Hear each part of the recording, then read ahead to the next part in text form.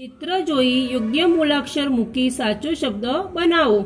તો બાળકો, આ ચિત્ર શેનું છે? વરસાદનું. તો આપણે અહીં લખેલું છે, ર, સાદ. આગળ ખાલી જગ્યા આપી છે. તો આપણે આગળ લખીશું, વ. વ, ર, સાદ. આ ચિત્ર છે સસલાનું. તો અહીં લખીશું, સ. સ, સલું. આ છે વહાણનું ચિત્ર. તો અહીં લખીશું, વ, વહાણ. આ છે રથનું ચિત્ર. તો અહીં લખીશું ર, રથ. આ છે વાદળનું ચિત્ર. તો અહીં લખીશું વનેકાનો વા, વાદળ. આ છે ઝાડનું ચિત્ર. તો અહીં ડ આપેલો છે. આગળ લખીશું જનેકાનો જા, ઝાડ. આ છે કારેલું. તો કા રે લું આ છે ઘાસ. તો ગા સ આ છે ઉંદર. તો ઉંદર. આ ચિત્ર છે મોટરનું. તો મોટર.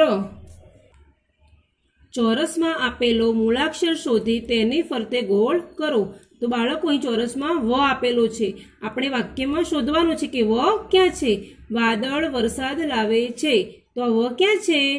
તો વ અહીં આપેલો છે. તો વ ઉપર ગોળ કરીશું. તેવી જ રીતે ર. તો રતન. રમત રમે છે, તો અહીં પણ ર છે અને અહીં પણ ર છે. આ સ, સસલું મને ગમે છે.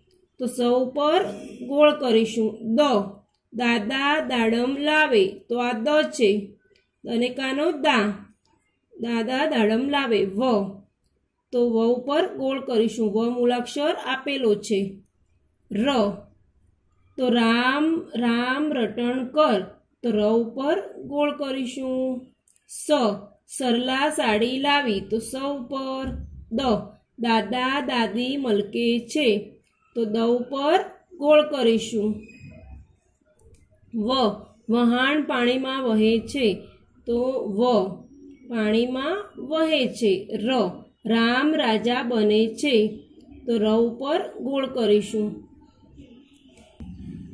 વાંચો અને ઉદાહરણ પ્રમાણે લખો. બાળકો દેખો. દસ દાસ દેશ અહીં સાદા શબ્દો છે, અહીં કાનાવાળા છે અને માત્રાવાળા છે.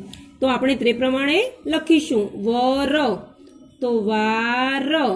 તેવી જ રીતે વેર. રસ. તો રાસ. રેસ. નમ. તો નામ. નેમ. તર, તો તાર, તેર. તેવી જ રીતે અહીં વન, તો વાન અને વેન. મન, તો માન. મેન, ગમ, તો ગ, ગામ. ગેમ, વદ, તો વાદ. વેદ, દવ, તો દાવ, દેવ. શબ્દ બનાવો. બાળકો, અહીં શબ્દ લખ્યો છે, અહીં પણ અક્ષરો લખેલા છે. તો આપણે અક્ષરોને તીરની દિશામાં વાંચીશું. વેદ, તો અહીં લખ્યું છે વેદ. તેવી જ રીતે બીજો શબ્દ બનશે વે ર તો આપણે લખીશું કે વે ર વેગ. વેગ. તેવી નીચે. સેવા. તો લખીશું. સેવા. મેવા. મેવા. દવા. દવા. તેવી જ રીતે હવે અહીં નીચે જોઈશું. રજા. રજા. મજા. મજા. સજા. સજા. સેવ. લખેલું છે? સેવ. દેવ.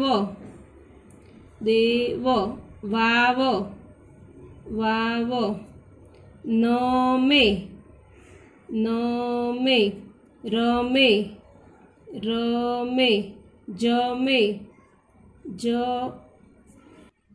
મે ગામ ગામ, ગાન ગાન, ગાજ ગાજ શબ્દ બનાવો.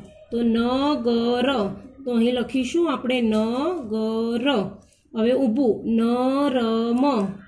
ન, ર, મ. મ, ગ, ર. તો મ, ગ, ર. હવે નીચે. વજન. ર સા